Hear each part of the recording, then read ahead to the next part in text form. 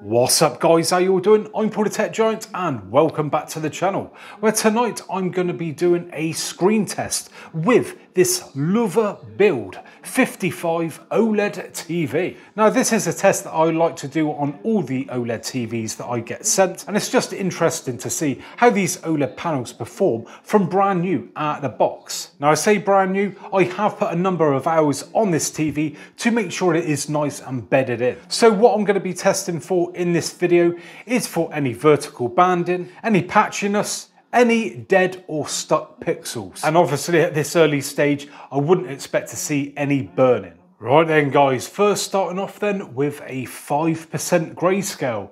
And I just want to point out that this TV is a 55 inch and costs £3,000. So yes, not a cheap TV at all. So first impressions then, well, it does look like we have a bit of patchiness going on.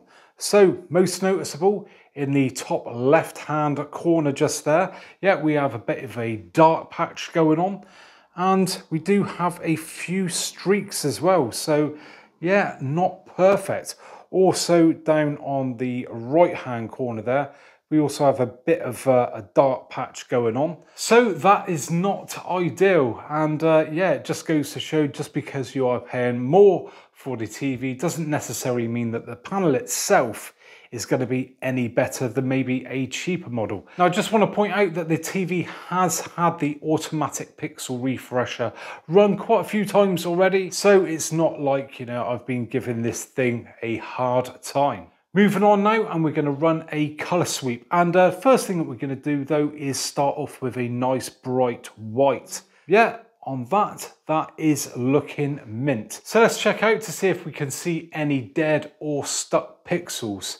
Fingers crossed there aren't none, but as I've mentioned, in previous videos like this, I have had brand new OLEDs before that have had uh, stuck pixels from out of the box, but this is looking okay, which I'd like to think it would be, um, especially at this price point. So just moving up the left-hand side now then, moving to the middle, pulling back out, and that is looking good.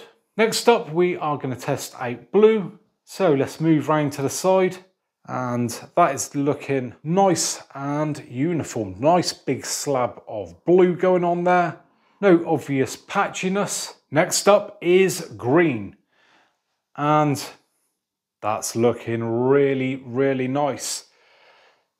Again, nice big slab of green, nothing dodgy going on there, no patchiness as far as I can see. Finishing up then with a lovely deep red. Now it does look a little bit more pinky on camera, but that is just the camera itself.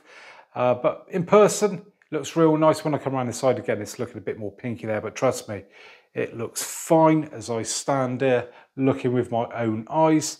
Move around to the side. Yeah, that is looking mint. There you go then, guys. That is the testing complete. And yeah, a little bit disappointing there with the 5% grayscale. When you consider this is a three grand 55 inch TV, I have seen better on OLEDs that have been close to a third of the price. But at least it was a nice clean sweep when it come to all the other tests. So let me know in the comments section, if you'd have paid three grand for this TV, would you have been happy with those results? Now, if you have enjoyed today's video, do us a favor and give me a thumbs up. Subscribe if you already haven't, and hopefully catch you guys on the next one.